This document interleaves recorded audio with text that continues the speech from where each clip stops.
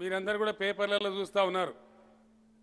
ఇరవై నాలుగేండ్ల నాడు పిడికెడు మందిమి దానిలో నిరంజన్ రెడ్డి గారు కూడా ఒకరు.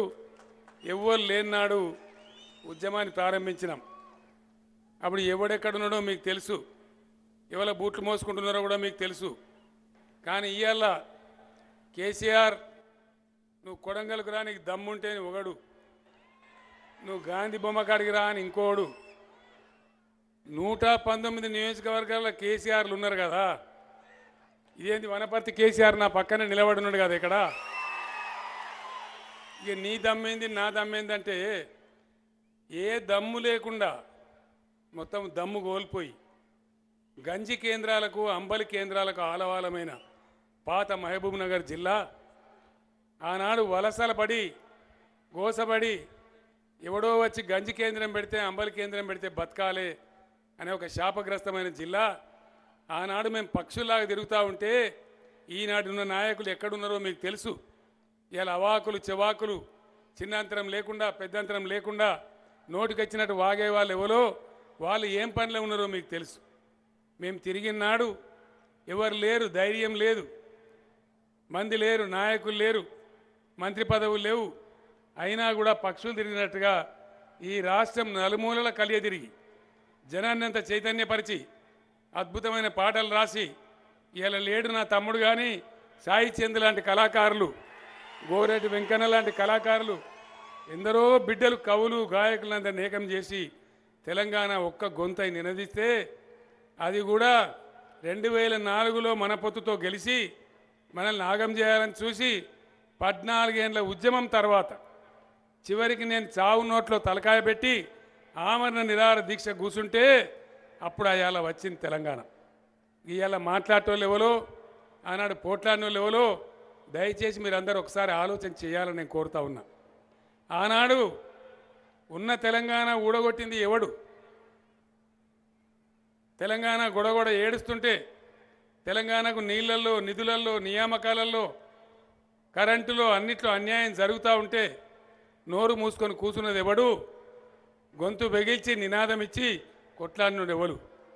మీరందరూ కూడా ఆలోచన చేయాలి. ఒకటే ఒక మాట.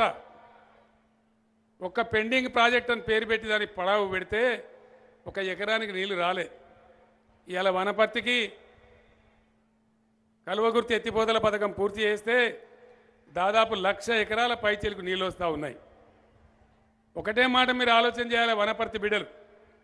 వలసల వనపర్తిని వరి పంటల వనపర్తి చేసిన మునగాడెవడు? ఇలా వట్టి లేనిపోని ఉల్టా పల్టా మాట్లాడే సిల్లరగాలెవరు వరి పంటల వనపర్తి చేసినోడు కావన్నా? లేదు. ఎవరు కావాలి? ఎవరు కావన్నో తేల్చాల్సింది మీరు. న్యాయం చెప్పాల్సింది మీరు. నిరంజన్ రెడ్డి గారు ఇంతకుముందే మనవి చేసినాడు. ఆయన మంత్రి అయినా కూడా ఎంత బాధపడతాడో ఆ చిన్న మందడి పెద్ద మందడి ఆ తండాలు. ఒక్కొక్క తండా పేరు తీసుకొని ఈడ లిఫ్ట్ కావాలి ఆడ లిఫ్ట్ కావాలి. నేను ఈ ఆశపడ్డ సందర్భంలో కూడా ఇద్దరి మీద జోకులున్నాయి ఈ రాష్ట్రంలో. హరీష్ రావు మీద ఒకరి మీద ఉన్నది నిరంజన్ రెడ్డి మీద ఒకరి మీద ఉన్నది. నిరంజన్ రెడ్డికి ఏమన్నా తట్టడంటే పెండ దొరికితే తీసుకుపోయి వనపర్తి పొలంలో వేసుకుంటాడు అనే పేరున్నది. అంత తన్లాడి కావలసినటువంటి ప్రతి ఒక్క అంశాన్ని తన చిన్నప్పటి నుంచి పెరిగిన ప్రదేశం కాబట్టి తనకు తెలుసు కాబట్టి తన ఆత్మతోని కలగలిసిపోయిన ఏరియా కాబట్టి ప్రతి నీళ్ళ చుక్క కోసం డి డి ఎయిట్ దాని పేరేందో ఆ డి ఎయిట్ కాలువ కోసం ఒక వంద సార్లు నాతో వాదించి చేసిన సందర్భం. ఇది కలువ గుర్తే చాలదు.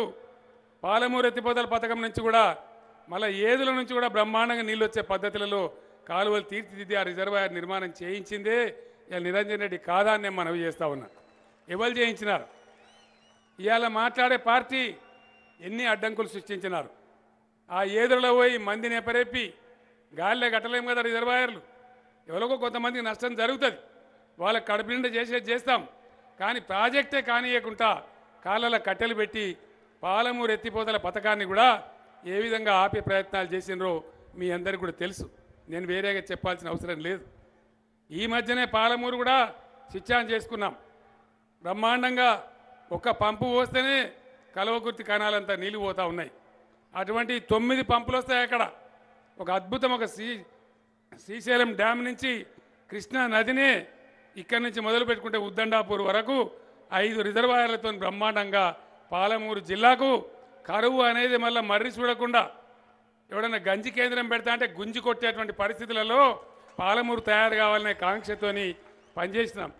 అక్కడ శ్రీనివాస్ గౌడ్ గారు కావచ్చు ఇక నిరంజన్ రెడ్డి గారు కావచ్చు ఇద్దరు బ్రహ్మాండమైన అద్భుతమైన మంత్రులు వాళ్ళ వాళ్ళ ఏరియాల కోసం జిల్లా కోసం పరితపించి అనేక కార్యక్రమాలు శ్రీకారం చుట్టినారు. అనేక అభివృద్ధి కార్యక్రమాలు జరిగినాయి. ఒకటే ఒక మాట నేను చెప్తా ఉన్నా. ఇవాళ నరికి అడ్డం పొడుగు మాట్లాడే కాంగ్రెస్ అన్నేళ్ళు రాజ్యం చేస్తే నిరంజన్ రెడ్డి కన్నా శ్రీనివాస్ గౌడ్ కన్నా దొడ్డుగున్నోళ్ళు ఎత్తుగున్నోళ్ళు చాలామంది మినిస్టర్లు ఉండిరి. లేకుండా పాలమూరులా. ఎంతమంది మంత్రులైనరు? ఒక్కడన్నా ఒక్క మెడికల్ కాలేజీ జిల్లాకు తెచ్చిందా నేను అడుగుతా ఉన్నా. పాత మహబూబ్ నగర్ జిల్లాలో ఇలా ఐదు మెడికల్ కాలేజీలు తెచ్చిన గనులు మా నిరంజన్ రెడ్డి మా శ్రీనివాస్ గౌడ్ కాదా? ఇది చరిత్ర కాదా అని చెప్పి నేను మనవి చేస్తా ఉన్నా. తెచ్చింది కాకుండా మళ్ళీ ఇప్పుడు నాకు పశువైద్య కళాశాల కావాలని నిరంజన్ రెడ్డి గారు అంటా ఉన్నాడు. వాస్తవం ఇది చాలా సంస్కారం ఉన్నటువంటి కల్చరల్ ఆడియన్స్ ఉన్నటువంటి ఒక గొప్ప పట్టణం మన వనపర్తి పట్టణం. ఆయన కృషితోని ఆయన కన్న కళ నెరవేరి బ్రహ్మాండంగా పనులు జరిగినాయి. నేను కాలేజీ కలెక్టరేట్ ఇనాగరేషన్కి వస్తే నన్ను స్వయంగా తీసుకెళ్ళి అక్కడనే సభ పెట్టి ఈ దక్షిణం భాగం అంతా బైపాస్ రోడ్ కావాలని చెప్పి పసిపిల్లగానే ఎంబడబడి దాన్ని శాంక్షన్ చేయించినారు. అంతేకాదు మళ్ళీ ఇలా ఉత్తర భాగం కూడా వచ్చినట్టయితే వరంగల్ రింగ్ రోడ్ సమాప్తి అయిందని చెప్పి ఆశపడతా ఉన్నాడు. వందకు వంద శాతం. ఆనాడు ఇదే గ్రౌండ్లో ఎన్నికల సభలో నేను చెప్పినాను. నిరంజన్ రెడ్డి గారు ఉద్యమ వ్యవస్థాపక నాయకుడు. ఆయన ఎమ్మెల్యేగా గెలిస్తే ఎమ్మెల్యేగా గెలిపించే బాధ్యత మీది. ఆయన అంతకన్నా పెద్దవాణి చేసే బాధ్యత నాది అని ఇదే గ్రౌండ్లో నేను మీకు మాట ఇచ్చినాను. ఇచ్చిన మాట ప్రకారం కేబినెట్ మంత్రిగా దర్జాగా ఐదు సంవత్సరాలు మీ సేవలో పునీతమైన వ్యక్తి నిరంజన్ రెడ్డి అవునా కాదా మీరే నిర్ణయం చేయాలని కోరుతా ఉన్నా. చాలామంది వస్తారు చాలా మాట్లాడతారు చాలా విషయాలు మాట్లాడతారు. అడ్డం పొడుగు మాట్లాడతారు ఈరోజు రైతాంగం ఒకటే ఆలోచన చేయాలి మా ముస్లిం సోదరులు ఒకటే ఆలోచన చేయాలి మా దళిత వర్గం కూడా ఒకటే ఆలోచన చేయాలి ముస్లింలను ఓటు బ్యాంక్గా వాడుకొని వాళ్ళకి ఏ పని చేయకుండా వాళ్ళని పేదవాళ్ళని చేసింది ఎవరు ఇదే కాంగ్రెస్ పార్టీ కాదా कर ठीक है इंसाफ के अल्लाह के घर में देर है लेकिन अंधेर नहीं है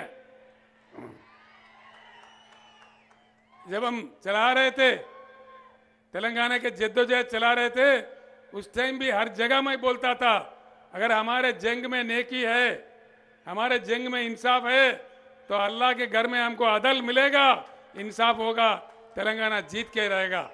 आज भी मैं आपको बताता हूँ, मुद्दा इलाक बुरा चाहे तो क्या होता, वही होता है जो मंजूर खुदा होता है।